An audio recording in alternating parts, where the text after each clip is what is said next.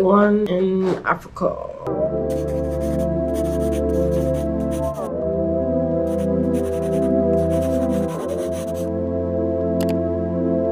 Today was my first day teaching at the school. Man, some of the kids, the only meal they get is at the school. The difficulty with getting their attention and teaching, it's real. But it's like I'm amazed at Africa, but I'm also just like saddened by a lot of the living conditions and stuff. Like it's crazy, but it's still so beautiful. So it's just different parts. It's like America. You have lower class, middle class, upper class, upper class or whatever. But but the kids were superb. It was pretty cool. All right, well, Brody. Hello. Yo, so we're in South Africa. What's your program? Mine's sports development. Yours is uh Teaching. teaching. Yeah. Yeah, another volunteer. I'll introduce you all to the rest later on the YouTube page. So on my first day, I was extremely tired. uh, difference with the time change, and I did, you know, have to introduce the volunteer programs. Each person was on a different volunteer program.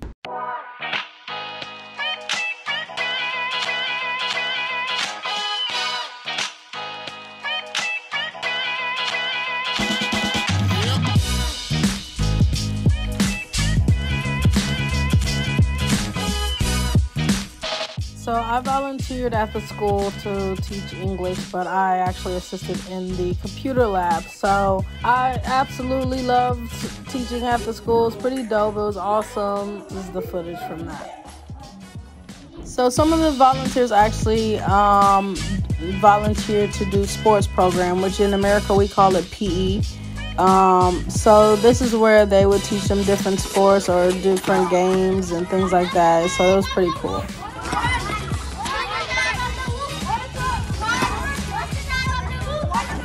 The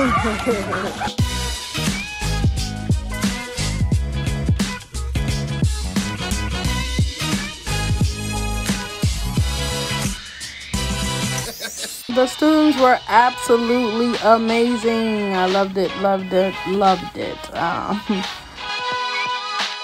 I had to take a photo in front of the school.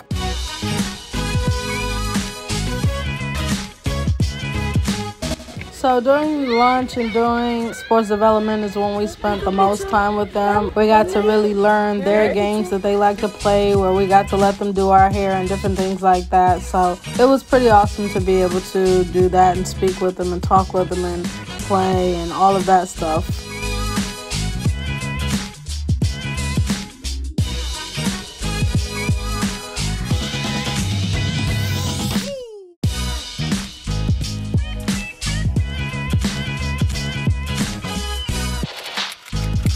Uh, she created outreach to enrich basically because she's from South Africa and she wants to create a solution to the problems, uh, you know, in her native land herself, which is what I love and respect about it. So, if you would like to volunteer, please visit the website that is in the link of this video.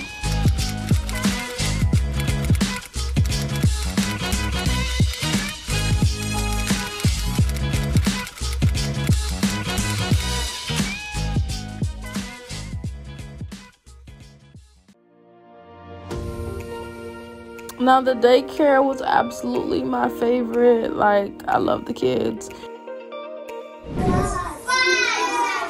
Five. Very good. Can someone tell me nine plus Seven. one? Seven. Nine fingers plus one finger. Oh. Eight. Eight. Nine. Seven. Seven. Seven. 10, very good. good. 11, 12, 13, 14, 15, 16, 17, 18, 19, 20, 25.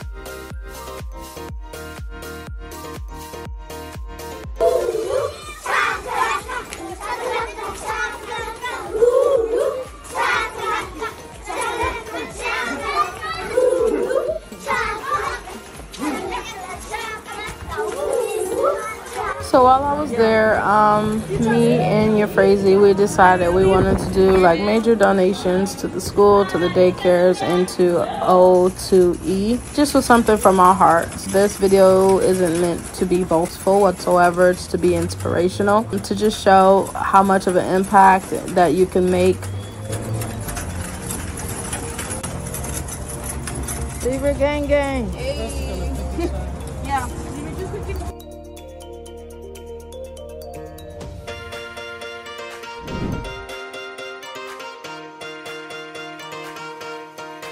So we decided to focus on donating sports supplies, school supplies, puzzles, learning activities, anything that helps assist with the different programs for O2E and the school and the daycare. So today was the day to present the donations. Best day ever.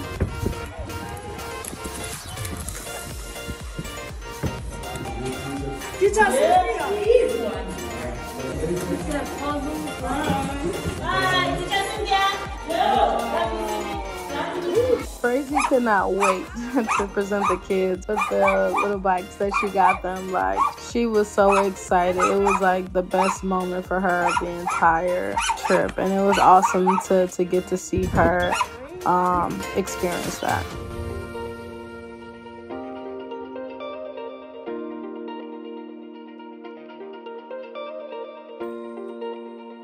Then I presented the O2E kids with sports like balls and um, things for them to play with recreational wise while they were at the O2E house.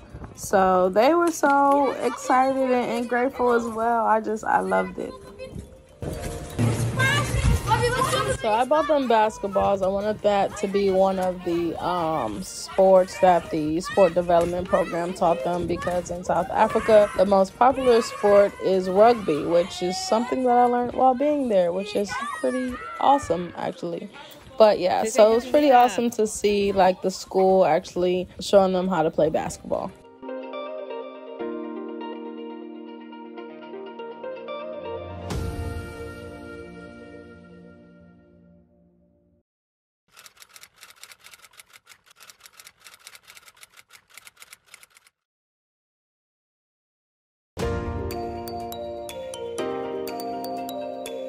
They had a Christmas party where they had so many donations and gifts for the children, which is amazing. Renee actually set that up and orchestrated that. She also set up the People Helping People food drive where they actually went to local township, provided lots of food, which is awesome. So the thing I love is that they do have a South African Heritage Day where they actually teach and, and honor and just show uh, their heritage. Uh, I, I, absolutely love that. Um, I learned so many holidays that they have there as well, which is pretty amazing. Now, the Outreach to Enrich Surf program is one of the best programs that they offer because it actually teaches them to surf and it also teaches the volunteers to surf too. If you don't know how to, you pretty much go there and leave and you're almost an expert. So that's pretty awesome.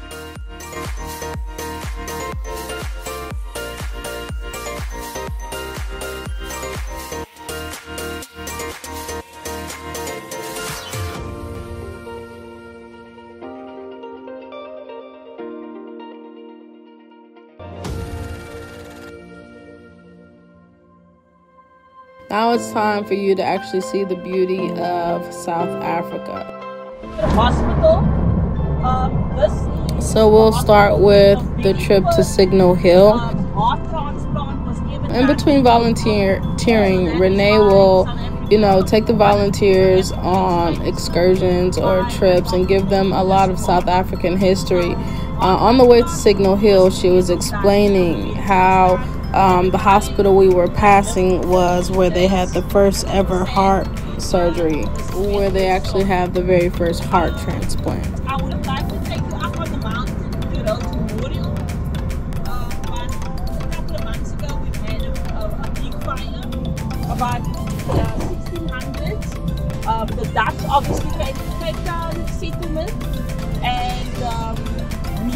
Muizenberg, Simonstown were all the places where the boats came in um, and people came up, uh, on the shore.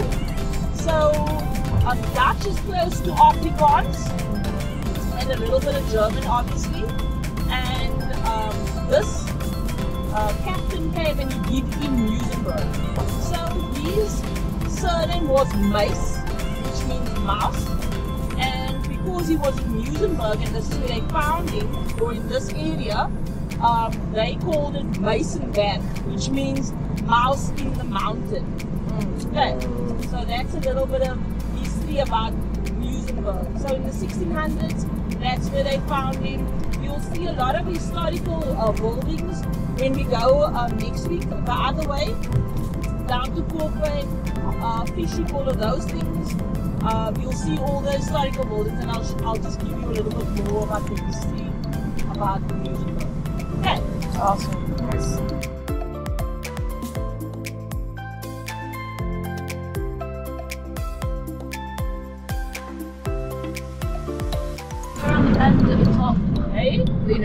The trees really um, drew me in. Not only just the trees, but the actual land, like the landscaping itself. The mountains and the trees were just so different and so majestic.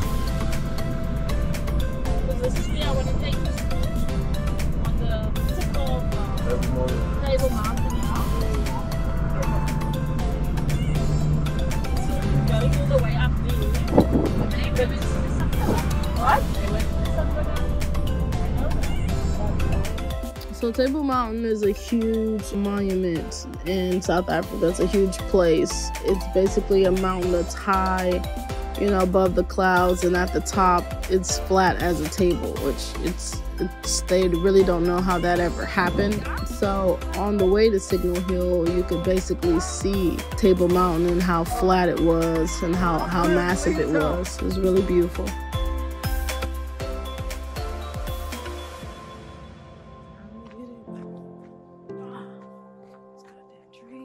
So they had your girl walking this trail and jumping through trees to amazing um spot that had the best view ever. But I was just like, okay, I'm not a bug person, but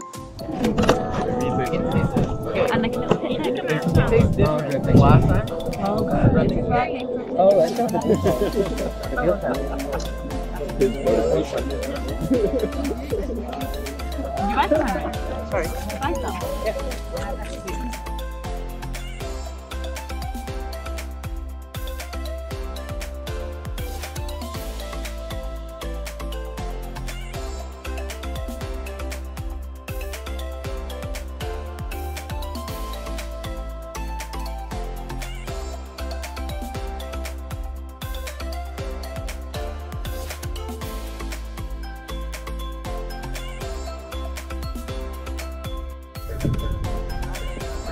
I was so amazed by the view. I was so amazed by the spot where we were to just sit there and, you know, play music and enjoy, you know, the time that we had um, with each other. And we were eating, we were drinking wine. It was pretty awesome.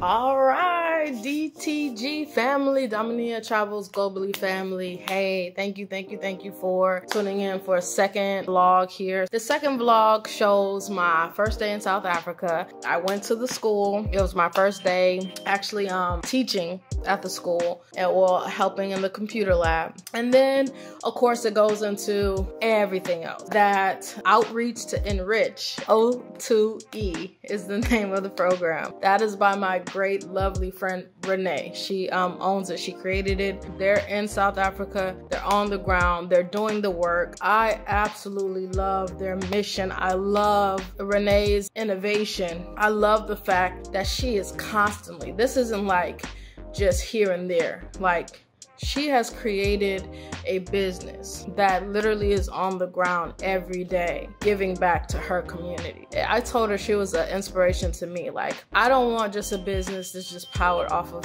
money. I want a business that's powered off of either helping people or creating happiness. If I can combine both, let's do it all the link for her if you want to volunteer if you want to go to south africa same way i did help with the kids do the surf program help in the daycares teach at the school the link is in the bio if you would like to just subscribe to Renee and the O2E family. I am an ambassador of theirs. Then you can always look at the link in the bio as well. And you can follow her on Instagram, follow all the different volunteers' journeys. is is is really amazing. So that actually goes into my next thing. So I actually created my own business called Dominia Travels Globally, i.e. the name of the YouTube. Hello. So my goal is to bridge African Americans with Africa and, and just get us to go to Africa, spend our travel because we like to travel, you know, um, especially us in the LGBT community. Like, let's go.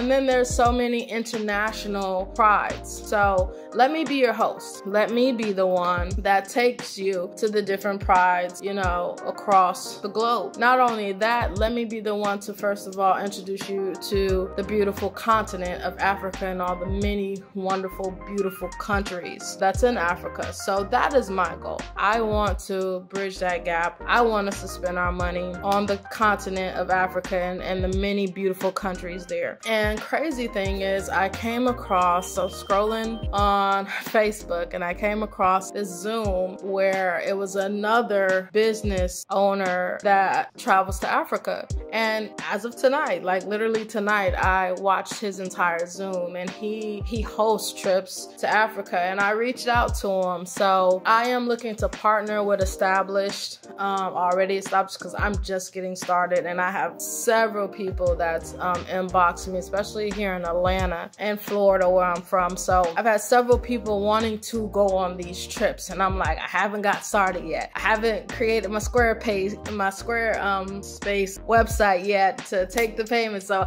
I'm just getting started. Y'all bear with me, but I am willing to um, partner up with different established travel groups. If you can, you want to inbox me, things of that nature. Contact information will be at the bottom. But the rest of you all that loves me, that follows me, this is just getting off. So we're gonna do big things. If we can join with other businesses that is really focusing on on um, traveling to Africa, listen, I love it because what we want to do is we want we want to go and we want to get our own history. You know, our history was told to us. The way Africa was depicted to us was wrong. You know, we can actually get history from the source. When I went to South Africa, the rich amount of history that they have.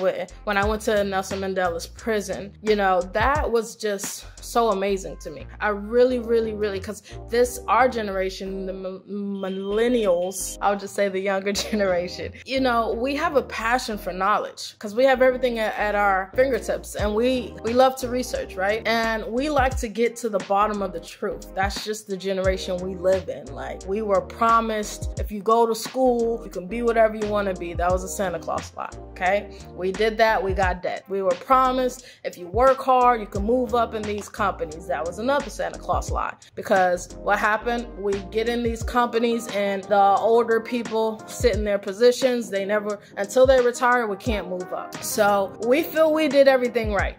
and then the reality of what it is is like, man, we got lied to, we got sold a dream.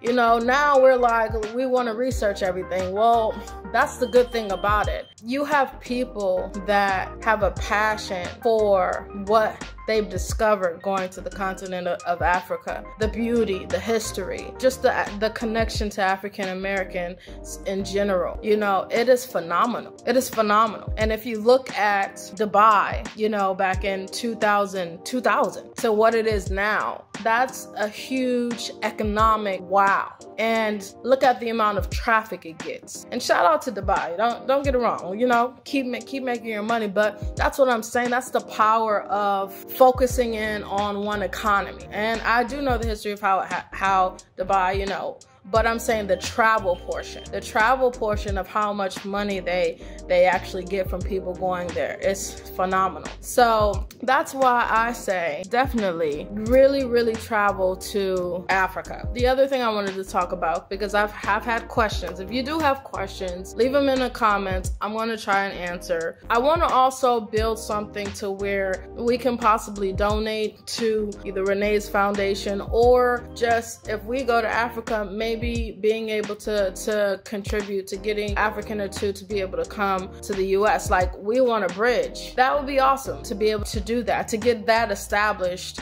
to be able to do that. That's just my dream. Also, I did want to answer the question why did I go to South Africa first? South Africa, you do not have to have a visa, and I wanted to go to Nelson Mandela's prison. South Africa is the most Americanized, seemingly part of Africa. That's not what lured me there, but I'm glad I did. Like I said, I, I got a whole family that I met, and now I, I do have a South African family in the term terms of O2E. Like that's that's like my family now.